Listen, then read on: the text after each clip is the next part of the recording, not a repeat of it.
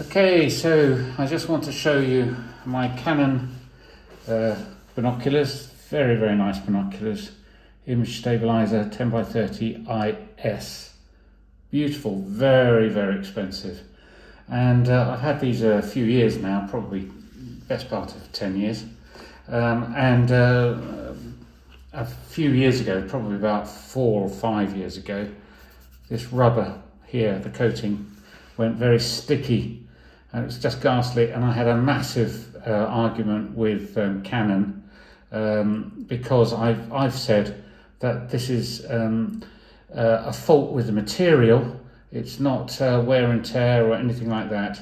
And so if you've had sticky um, rubberized components, then um, it's well worth taking it up with Canon. They will argue like mad, they will refuse to do it, they'll say it's out of warranty. My argument, of course, it wasn't in warranty about, it's not a warranty an issue, it's an issue about the quality of materials.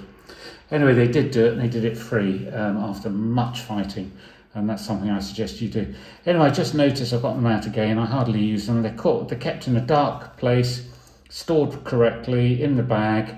And so, you know, that's the way it is. But here we go. Now, I've just taken out. This is as sticky as hell. Now, my finger is clean here, if you can see my clean finger. And I just have to use it. And you can see my finger getting black because it's just sticky, mucky, horrible stuff. Look at it, look at it, look at it come off. It's absolutely appalling. So now I'm going to I'm not going to fight the battle again just for this because the, the, coating here is okay, but I am going to have to remove this uh, rubberized component rubbish. Look at my finger.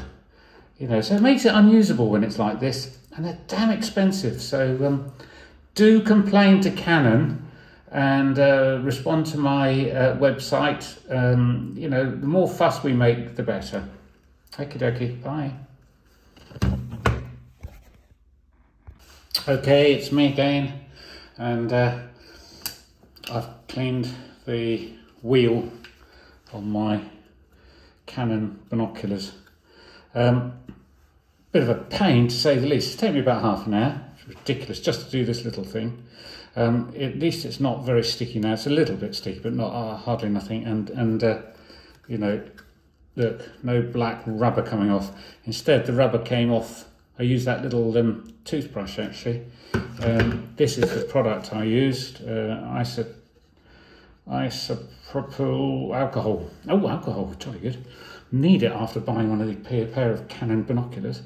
Um, so uh, yeah, use that, that, and obviously, you know, you just um, pull it off slowly. Uh, what I did is, oh, be careful not to get that um, alcohol stuff onto the rest of the binoculars. Otherwise, it's going to obviously peel off the rubber on the bit that you don't want.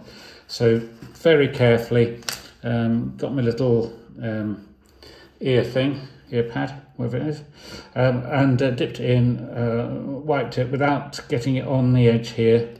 Um, just being very careful actually, and then slowly but surely, you know, just getting it off with that, and, and it's worked. So that sorted that. I wouldn't fancy doing the whole thinking binoculars, look at the size of them. That would just take hours and hours and hours. Anyway, at least a solution for a minor problem uh, there. But um, when you buy uh, your binoculars from uh, the dealer, ask them if it's got rubber coating. And if it's got rubber coating, say, well, will you send it back to the manufacturer? Just ask them to strip it off before I buy it. Because it's a bloody pain in the backside, this. Okie dokie, bye. Oh, it's me again. Uh, just another word of warning. Uh, don't let her indoors catch you uh, cleaning your Canon binoculars on her best um, kitchen work surface because uh, she gets very upset. Oh dear.